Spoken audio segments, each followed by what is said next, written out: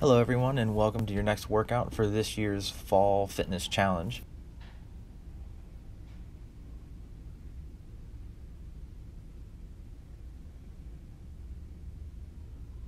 What you're going to see first is a lat pull down. You are trying to work your back by pulling the cable attachment down to your chest. Now, the, the posture here, you really want to make sure that you're lifting your chest to the grip that you've selected. So that'll help keep your chest upright and allow you to engage your back. The next motion you're looking for is a glute ham raise. This is a hamstring movement where you're going to be pulling your upper body into a vertical position uh, using the back of your legs. What you're looking for here is to make sure that your knee can slide through the pad. You don't want your knee on top of the pad. If it is, it'll be really difficult to get started for beginners. The next motion is going to be a cable rotation. You're going to stand away from the weighted stack, rotating the cable out in front of you. Um, you want to make sure that you keep your chest over your shoulders. You don't want to be leaning and using too much leg drive with this motion. You want to try and duplicate that idea on both sides. You have two sides to do on this motion.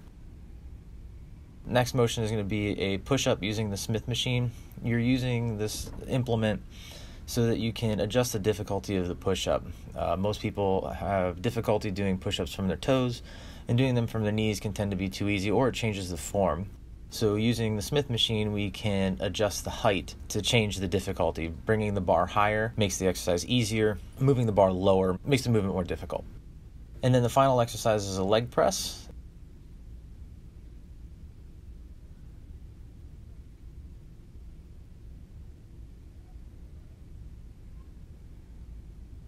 You are looking to keep your toes relatively high on the platform, using your glutes and hamstrings again as much as possible.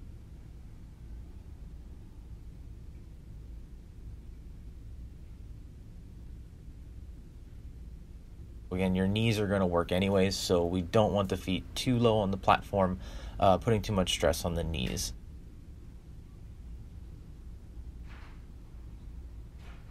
You're going to be doing this rotation five times. So you start with your pull downs for 12 reps, your glute ham raises for 10 reps, cable rotations 10 reps each side, and then push ups for 10, leg presses for 20. That'll ensure that you don't select weight that's too heavy. So you go through that five times.